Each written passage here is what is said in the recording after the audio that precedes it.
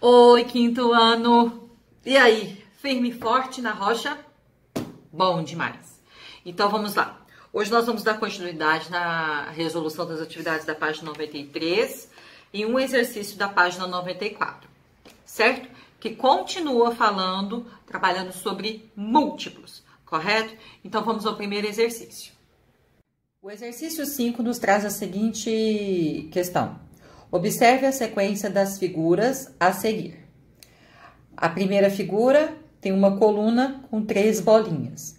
A segunda figura tem duas colunas, cada uma com três bolinhas. A terceira figura, três colunas, cada uma com três bolinhas. E a quarta figura, quatro colunas, cada uma com três bolinhas.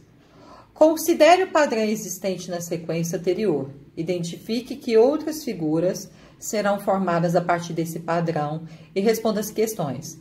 Quantas bolinhas há na quinta figura da sequência e na oitava figura? Nós temos que observar o seguinte, que cada coluna, cada desenho aumenta uma coluna com três bolinhas, certo? Então, se aqui na quarta tem quatro colunas, na quinta imagem terão cinco colunas. E cada uma com quantas bolinhas? Três tendo um total de quanto? 15, porque a gente multiplica assim, ó, pega a, a, a, a, quantidade de coluna e multiplica pela quantidade de bolinha, certo? Oxi, é, no oitavo desenho, né? Serão oito colunas, cada uma com três bolinhas. Então, oito vezes três terá o total de 24 bolinhas, correto? Então, vamos lá. Quantas bolinhas há na quinta figura da sequência? Se vão ser cinco colunas vezes três bolinhas cada um, 15 bolinhas ao total. E o outro, oito coluna, colunas vezes três é o total de 24. Então, vamos lá. Quantas bolinhas há na figura 5? Na quinta figura? Na quinta figura, a 15 bolinhas. E na oitava figura, a 24 bolinhas. Tá certo? Que padrão você observa em relação à quantidade de bolinhas? Concorda comigo que vai aumentando aqui de 3 em 3? 3, 3, mais 3 aqui, né? Aqui tem 9, mais 3, 12, mais 3, 15, mais 3, 18 e assim por diante. Então, o padrão, ele aumenta de 3 em 3, né? Então, letra B, a cada figura aumenta 3 bolinhas. Há um padrão nas figuras anteriores em relação à forma. Que padrão é esse? Olha só, é que cada figura aumenta uma coluna com três bolinhas. Voltando aqui.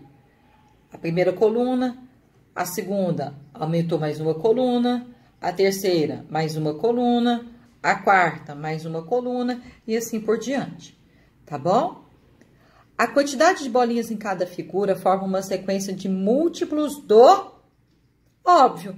Está aumentando três bolinhas em cada coluna, na, uma coluna com três bolinhas, perdão, então tá aumentando de três em três, então são múltiplos de três. Beleza? Então vamos continuar. Para finalizar, aqui. No ano de 2018, os dias 6, 13, 20 e 27 de outubro caíram em um sábado. Observando o calendário de 2020, você perceberá que todos esses dias cairão em um mesmo dia da semana. Explique por que isso acontece. Aqui os dias. 6, 13, 20 e 27 caíram no sábado no ano de 2018. Gente, esses dias sempre vão cair no mesmo dia da semana. Por quê? Porque entre eles há um intervalo de quê? De sete dias. Então, de sete em sete, é, é, sete, sete dias forma uma semana, então esse intervalo vai ser sempre o mesmo. Então, por exemplo, se em 2020 cair no domingo, dia 6, então dia 13, 20 e 27 também serão no, cairão no domingo. Tá bom? Então, olha só a resposta. Eles cairão sempre no mesmo dia da semana. pois entre eles existem sete dias, o que equivale a uma semana, certo? Então tá. Agora para o último exercício. Esse exercício aqui precisa de uma é, de um papel para a gente poder fazer como se fosse um rascunho, só para entender, tá? Então a gente vai ler, vai interpretar, depois eu vou mostrar um esqueminha para vocês.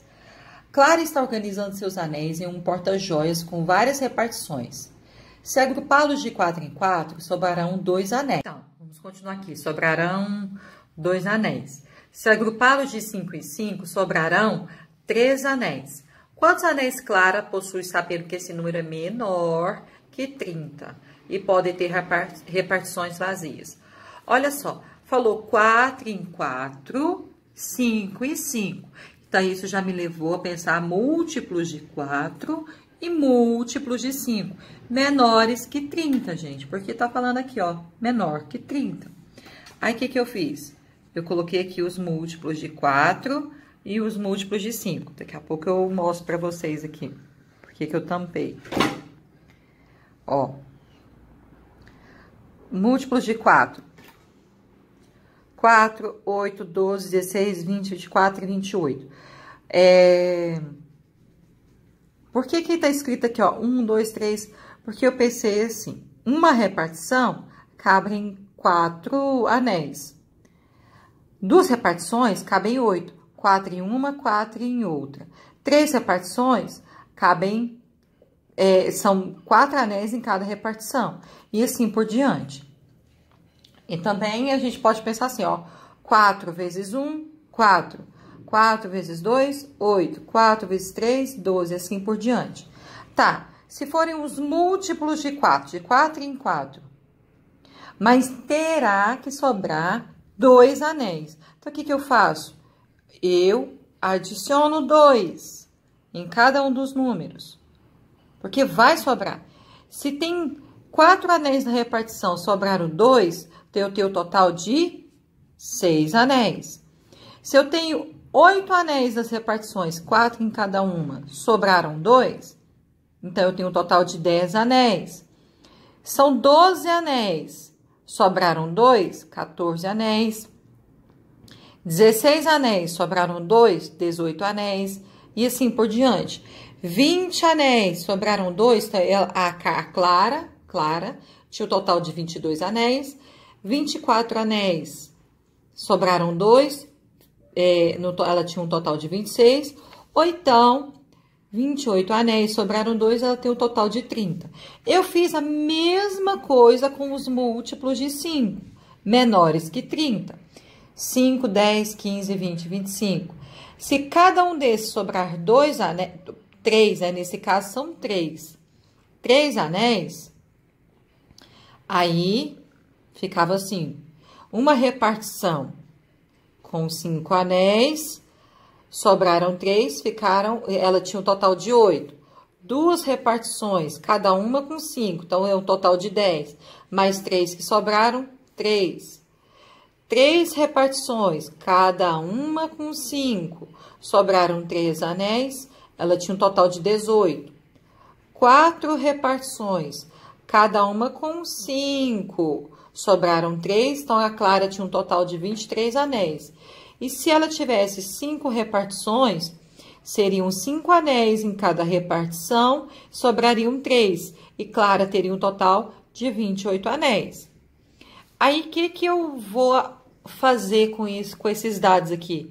Eu vou encontrar qual número final que eu tenho comum do, de 4 em 4 e de 5 em 5 eu tenho que olhar o final, porque eram quatro, mas sobraram dois, então ela tinha um total de seis. Aqui eram cinco, sobraram três, então ela tinha um total de oito. Qual desses números aqui, ou qual, né, na verdade, é comum? Dá uma olhadinha. Encontrou? Dezoito. Isso mesmo. Então, a Clara tinha o quê? 18 anéis. Se o organizador dela de anéis tivessem quatro repartições, ela ia colocar quatro, quatro, quatro, quatro e sobrariam dois anéis. Então, ela teria um total de 18 anéis. E se fosse uma repartição com, com três anéis, com uma, um, organizador com três repartições, ali ia colocar assim, ó, cinco anéis, cinco anéis, cinco anéis. E sobrariam três. Cinco mais cinco, dez, mais cinco, quinze, total de mais três, dá um total de dezoito, certo? Então, pessoal, só retomando aqui a última questão. É, ela tinha uma quantidade que nós tivemos que descobrir. E se ela repartisse de quatro em quatro, sobrariam dois anéis. Mas se ela repartisse de 5 em 5, sobrariam três anéis. Então, por isso que eu achei os múltiplos de 4 menor que 30, menores que 30, e os múltiplos de 5 menores que 30. E acrescentei 2 de 4 no, no múltiplo de 4 e acrescentei 3 nos múltiplos de 5. E somei, né? 4 mais 2, 6, 8 mais 2, 10 e assim por diante. Nos de 5, 5 mais 3, 8, 10 mais 3, 13. E aí, eu obtive o total nos dois. Eu encontrei o que era comum entre os múltiplos de 4 e os múltiplos de 5. E o único número comum entre esses dois múltiplos foi o 18. Então, eu encontrei a resposta, que a Clara tinha 18 anéis. Certo?